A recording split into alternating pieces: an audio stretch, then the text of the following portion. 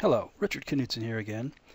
And in this session, I want to talk to you about business process flows in Dynamics CRM 2013, and in particular, about, I guess, what you could call an anomaly about them that uh, make them a little bit difficult to use from one standpoint, um, which is how to report on what stages of a business process flow your various record types are in. It turns out that there's one record type, the opportunity, that has that functionality built into it, but any other entity that you apply a business process flow to, such as case, we're going to look at here, that's the example we'll use here, there's no out-of-the-box way of reporting on what stage you're in. And let me show you what I mean. I'll open up a case record here and we're looking at a slightly customized case form. And in a minute, we're going to come down here to the bottom of the case form and look at some special stuff I have down here for kind of figuring out how business process flows work behind the scenes and tracking things like what stage you're in. Um, and if you notice at the top here, this is the classic business process flow presentation. So this is the BPF, uh, you might think of this as the business process flow ribbon at the top here, and you advance the stages by using the next stage or the previous stage button. And it's pretty straightforward. It's all well and good, and there's a lot of great things about business process flows. But I'm only going to talk about one thing here because I want to, you know, keep this particular video uh, in the, uh, you know, sub 10 minute range or thereabouts. If I go to next stage, Notice we're at the resolve stage.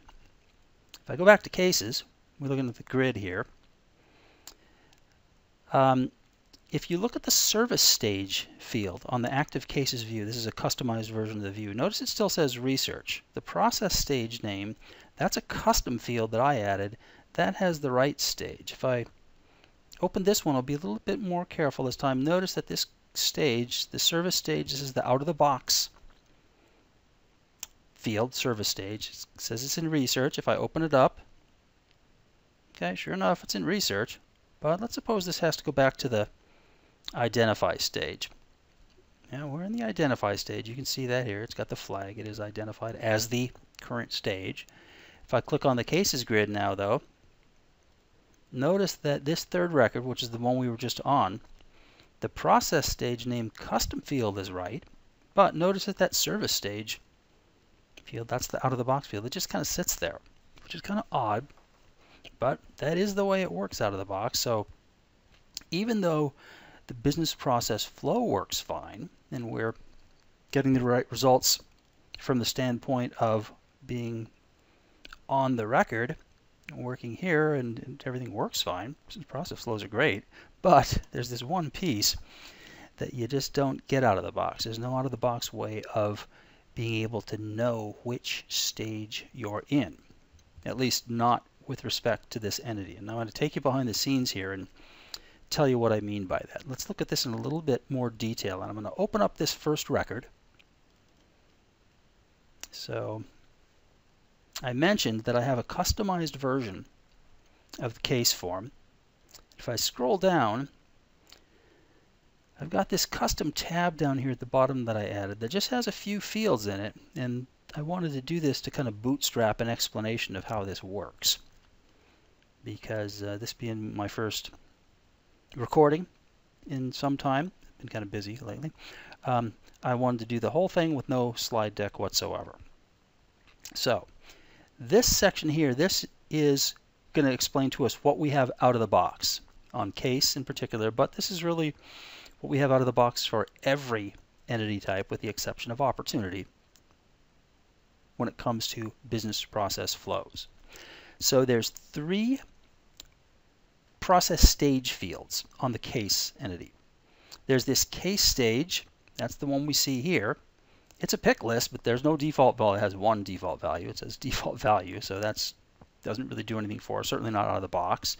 There is this service stage pick list and notice that this service stage pick list, identify, research, resolve, it's got the three same values that the default business process flow for cases has. So you might think that's one of the things that makes this confusing. You first see this, you think, oh, okay, this is going to change automatically because these values map to the default values on the default business process flow on case. Notice I changed these a little bit to make that point. I've just put ones in front of them.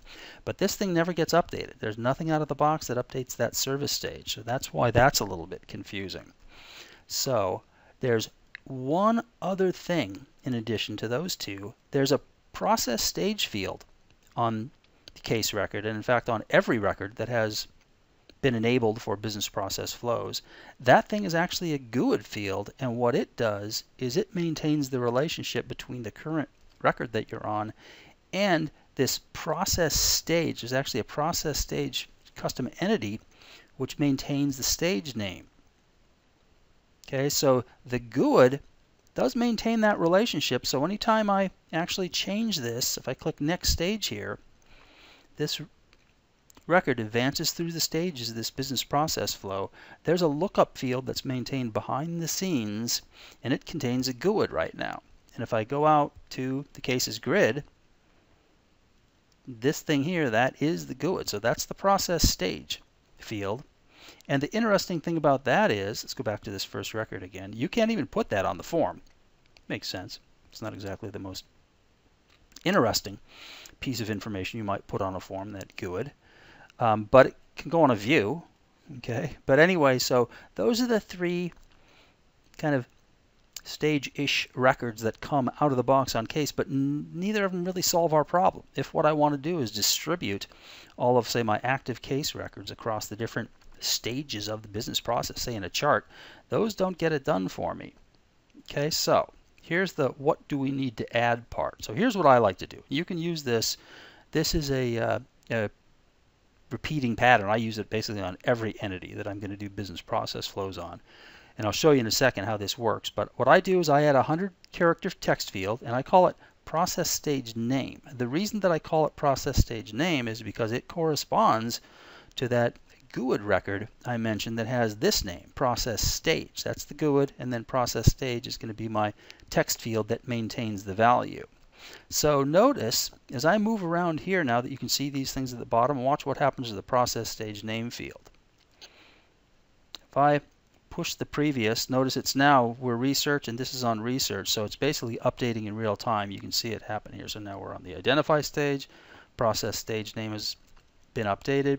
So you might guess what's going on behind the scene. I've got a real real-time workflow that is running and updates this process stage name field with the correct value of the process stage. So with this, what I can do, and you can kind of start to see this build out as I start to change a few of these records. So let's change the stage. Let's push that one to the resolve stage and then push it back to research. And if I scroll down, you can see sure enough that process stage name field is getting updated. So you can see we're kind of starting to build this out.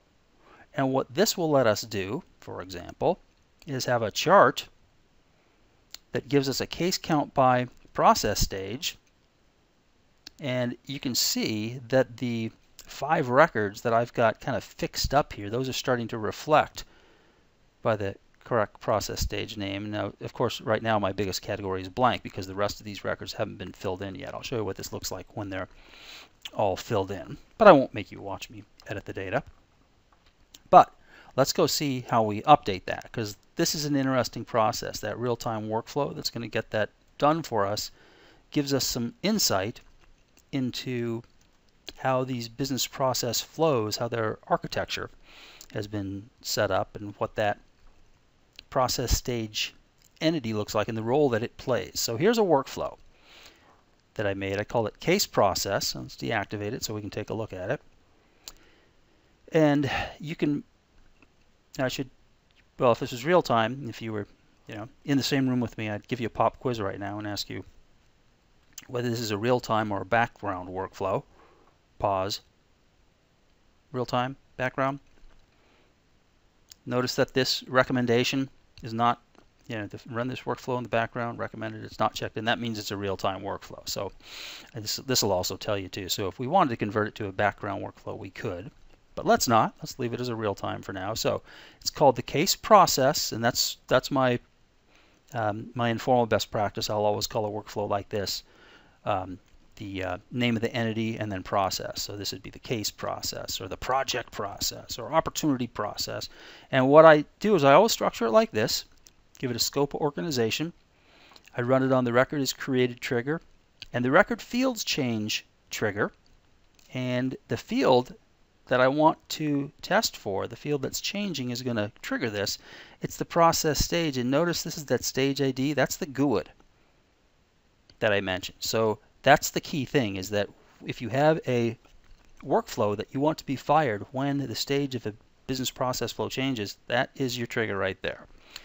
It doesn't do you much GUID from a reporting standpoint because it's a good. It's pretty gnarly. I guess if you want to do reporting off a GUID, you could, but something like the stage name is much more interesting. So we're going to have that trigger it, and at its essence, what a workflow like this does is really just does one thing. The only thing that I want to do here is I want to reach up to the process stage, that parent entity I mentioned, I'll show you what that looks like in a minute, grab the process stage name and use it to update the case record. So let's look at the update first, and then we'll look at the, um, um, we'll, we'll talk about this conditional. Okay, so I want to update, if we go to set properties on the case and scroll down here, there's the process stage name that I'm filling in. Okay, and the trick about this is, let me delete that so you can see how we would build this using dynamic values here. So I'm going to go to that text field and go over to look for, and I don't want to get something from case. What I want is this parent record type right here, this process stage. This is a parent record of every record that runs a business process flow. So if you enable business process flows for any kind of any system entity that doesn't have them by default or any custom entity that you create, you'll always see this. This is a parent record and it contains information and it contains information about the business process flow. In particular, it contains, well, the process name. Stage category might sometimes be interesting, but what I always use is the process stage. That is the name. That's a text value.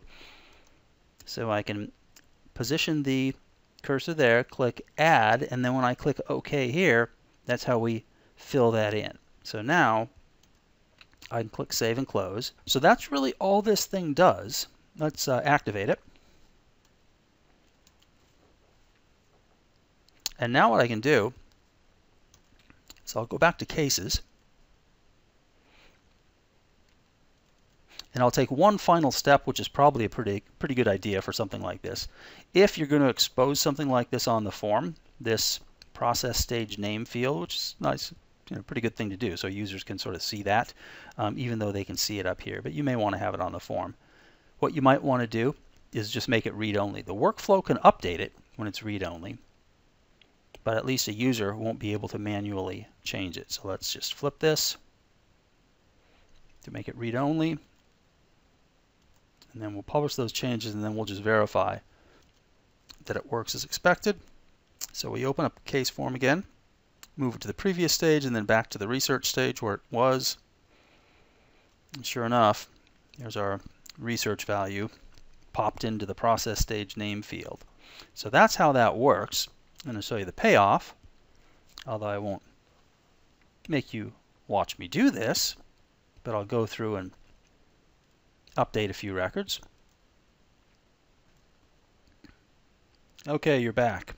And you can see I'm almost done updating these, and I'll do the last two. You can watch me do these, and I'll tell you one little trick that I like, and it took me a while to discover this. Um, one of the things that you can do in Dynamic CRM as I switch to the one stage and then come right back to it is you do have these next record, previous and next record buttons now. So if I've got a view on the background of active cases and I started in the first one of the view, I can walk through the entire data set, you know, the background view one by one just with these. But notice we have the keyboard shortcuts, which is kind of cool. So control right caret, I guess, or right greater than, greater than, whatever.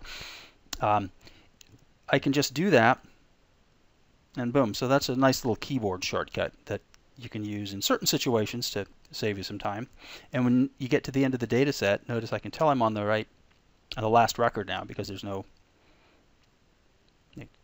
next record button is grayed out. Okay, so now back to the cases grid. Here's the payoff from something like this. So now I can get an accurate count, a case count by process stage, and now this thing is always going to be up to date. So as users move through the stages of their case resolution processes, you can always get the right representation of that by stage. So that's how you can fix the kind of the out of the box problem, which I described as an anomaly a few minutes ago, of uh, really not knowing much about what stage you're in, other than being able to see it in the business process flow ribbon. So Richard Knudson signing out, and I hope you found that helpful.